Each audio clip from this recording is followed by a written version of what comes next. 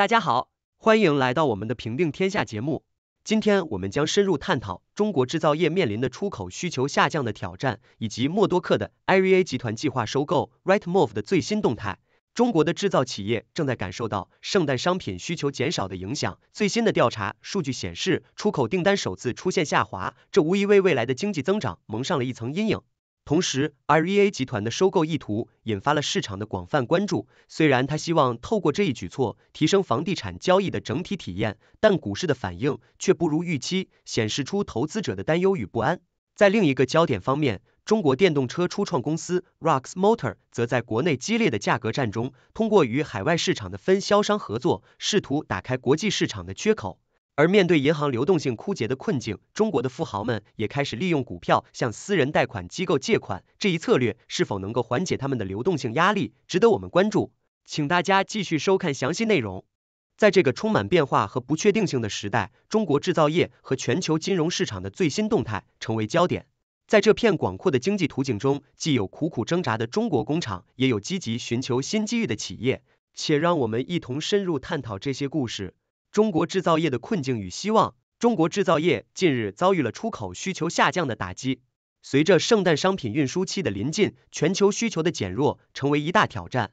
最新的 c a k e s i n 调查显示，上个月的出口订单出现低迷，是今年首次小幅下降。这显示出外部环境的恶化。这项调查追踪了中国的小型和中型企业，并显示八月份中国制造业的状况有所改善。虽然价格压力有所缓解，一些工厂受益于原材料成本的降低，但出口在八个月来首次下降，特别是消费品需求减弱，这将相应指标推至自去年十一月以来的最低点。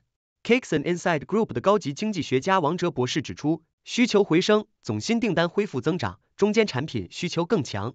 然而，他也不忘提醒，出口需求的减弱反映出全球经济的不确定性，这对于依赖出口的企业来说，无疑是个挑战。与此同时，中国国家统计局在周六发布的官方 PMI 也显示出类似的趋势。该指数显示，八月份中国制造业活动降至六个月来的最低点，工厂们价格下跌，订单不足。这一系列数据反映出中国制造业在面对全球市场波动时的脆弱性，同时也显示出企业在不确定环境中寻求生存和发展的努力。默多克的 IRA 集团瞄准 Rightmove。与中国制造业的低迷不同，默多克的 IRA 集团正积极寻求新机遇。这家由新闻集团大部分拥有的澳大利亚房地产上市公司正考虑收购英国房地产门户网站 Rightmove。这一消息引起了市场的广泛关注。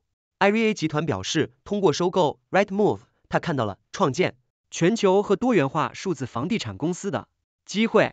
IRA 正在考虑对 Rightmove。提出现金和股票的收购要约，这家 FTSE 上市公司的市值在周五晚上约为四十三点四亿英镑。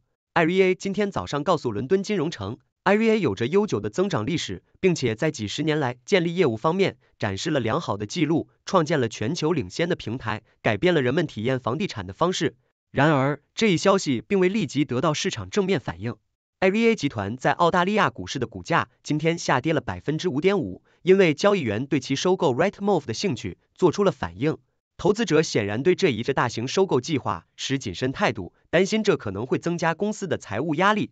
Rox Motor 的国际冒险，在国内市场竞争激烈的背景下，中国电动车初创公司 Rox Motor 果断选择了另一条道路，向海外市场进军。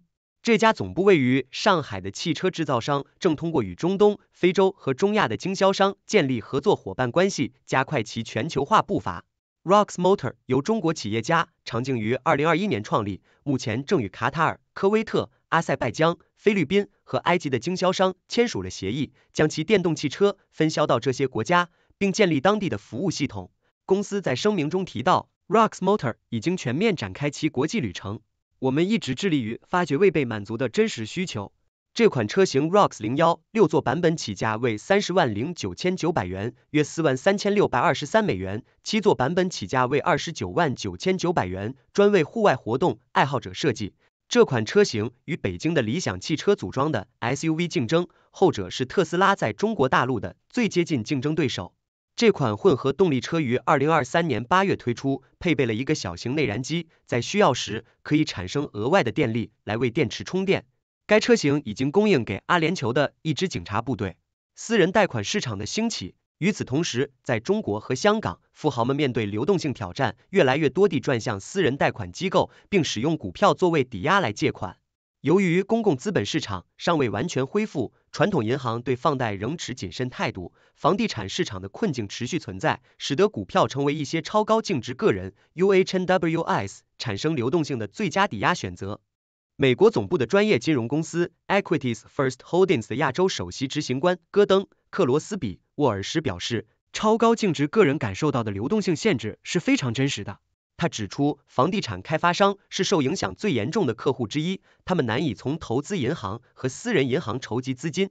在香港的困境开发商和富裕家庭的推动下，二零二三年亚太地区的私人信贷市场增长至至少一千二百四十亿美元。Equities First 根据抵押的股票数量向中国借款人提供贷款，通常是香港上市的股票，固定利率通常为百分之三点五至百分之四点零。中国至少占该公司亚太地区贷款部署的百分之六十五。今年前七个月通过四十五笔交易，总计约三亿美元。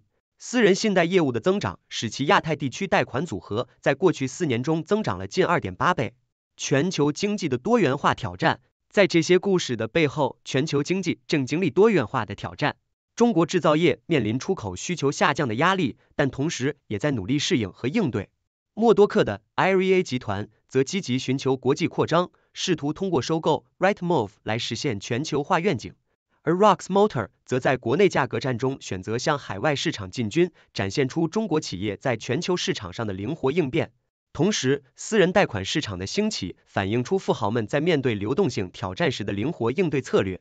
股票作为抵押的融资选择，成为解决资金需求的重要途径，尤其在传统银行放贷谨慎的情况下。这一切都表明，无论是企业还是个人，都在努力适应和应对全球经济的不确定性。在这个充满挑战和机遇的时代，灵活应变、积极寻找新机会，成为成功的关键。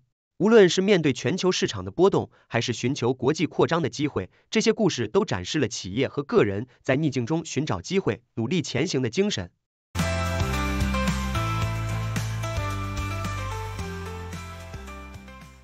欢迎大家进入六度探索的辩论环节，我们从正反两个角度对本节目进行辩论，请出我们的辩论高手楚天舒、谢琪琪。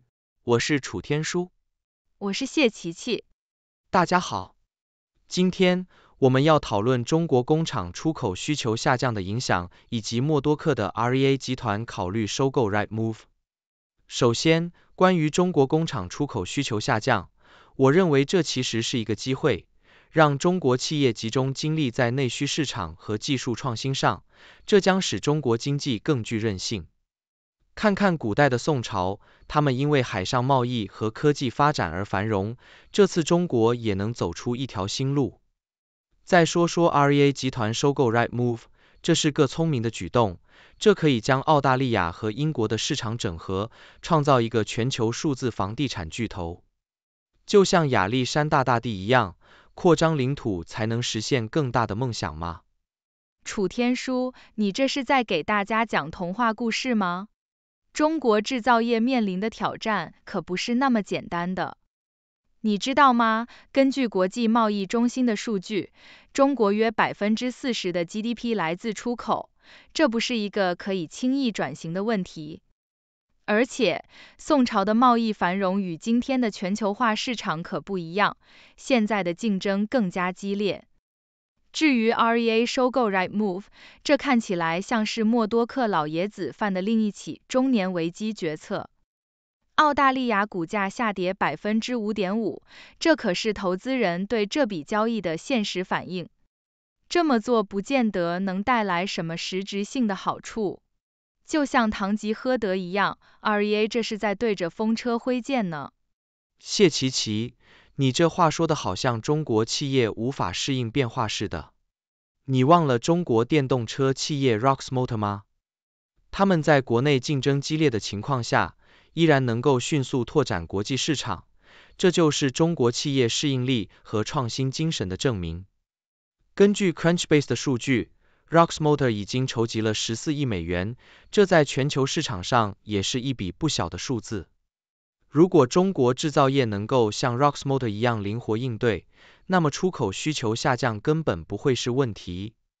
而关于 REA，我们要看长远利益，不要只看股价短期波动。你知道，亚马逊在初期的股价也是起起伏伏，但现在呢？这可不是堂吉诃德，而是现代的亚历山大大帝。楚天舒，你还真的是乐观到有点天真。Rox Motor 的确是一个例子，但它能代表整个中国制造业吗？根据 CPCA 数据，中国电动车销量占全球总量的百分之六十五，但只有比亚迪和理想汽车是盈利的，大多数企业还在苦苦挣扎。至于 REA，你说的亚马逊是个好例子，但别忘了，亚马逊是靠着不断的技术创新和拓展新市场成功的，而不是单纯靠着收购其他公司。默多克这次行动看起来更像是赌一把，这么玩的风险可不小。就像项羽一样，气势很猛，但未必能赢得最后的胜利。谢琪琪，Rox Motor 当然不能代表整个中国制造业，但它代表了一种趋势，就是中国企业正在逐渐适应和崛起。你看，中国的企业家们就像三国时代的诸葛亮，善于在困境中找到机会。现在的全球市场就是我们的赤壁。再说默多克的 REA，你说的对。亚马逊是靠技术和创新成功的，而 REA 的这次收购正是为了整合全球房地产数据，提供更先进的数字解决方案，这不就是技术创新吗？只要方向对了，大风大浪也能变成顺风顺水。这次收购有潜力成为海上丝绸之路般的伟大创举。楚天舒，你这比喻真是有点过了。中国制造业现实的困境不是能简单靠几个成功案例撑住的，就像清朝末年的海军一样，再多的定远舰也抵挡不住全局的衰落。Rox Motor 能成功，但那是特例，不是普遍现象。至于 REA，技术创新是需要时间和资源的，可不是简单靠收购就能立马见效的。你说的海上丝绸之路，但别忘了，那是花了几百年才建立起来的。默多克这次行动看起来更像是急功近利，就像大跃进时期的那些大炼钢铁运动，结果是好心办坏事。咱们还是现实点儿吧。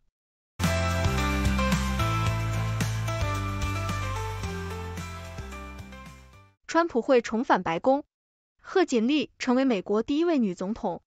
二零二四年世界第一大竞争，谁胜谁输，天下都会大变。美国导报，来自美国大事现场的信息：华盛顿、华尔街、硅谷，还是美国任何一个州？美国导报，YouTube.com at American Briefing。谢谢大家收看六度探索，这是一个由科学家、经济学家、媒体人、工程技术人员合作建立的新型媒体，网友与六度 AI 参与。合作完成各种内容，这些内容不能作为任何决策或法律的意见。这是一个新型的试验性媒体方式，我们希望得到大家的支持，修正错误。网友可以参与讨论，也可以向万能的六博士提出你能想出的任何问题。六度世界网址是六 do world，请介绍给你的亲朋好友。